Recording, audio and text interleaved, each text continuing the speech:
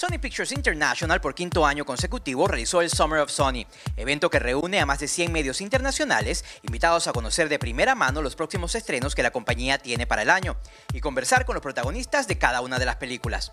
Conferencias de prensa, presentación de clips de los estrenos, reuniones, celebraciones especiales con los actores y entrevistas fue lo que se vivió por una semana en Cancún, que se convirtió en la meca del cine, reuniendo a grandes estrellas como Will Smith, Matt Damon, Adam Sandler, Salma Hayek, Neil Patrick Harris, Katy Perry, Denzel Washington, Mark Wahlberg, Diego Luna, Hank Azaria, por mencionar algunos de los que conversamos sobre sus próximos proyectos. Títulos de ciencia ficción como Elysium con Matt Damon y After Earth con Will Smith y Jaden Smith prometen ser los más esperados dentro de este género.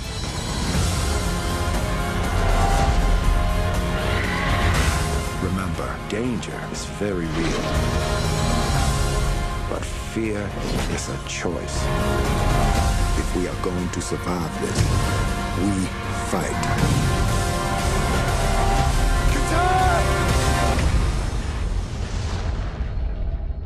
En comedia, dos secuelas de películas animadas harán el año para Sony Pictures. Ellas son Los Pitufos 2 y Lluvia de Hamburguesas 2.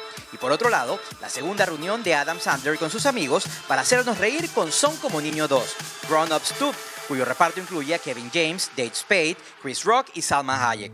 Para los que le gusta la acción, Roland Emmerich, el director de grandes títulos como Independence Day y 2012, nos habló sobre White House Down, cinta de acción que presenta el secuestro de la Casa Blanca, donde Jamie Foxx hace de presidente y Shannon Tatum es el héroe que se encarga de proteger al presidente mientras trata de salvar a su hija con quien visitaba la Casa Blanca cuando sucedió el secuestro. Mucha información y entrevistas tendremos del Summer of Sony y usted lo verá aquí, por supuesto, en Más que Cine.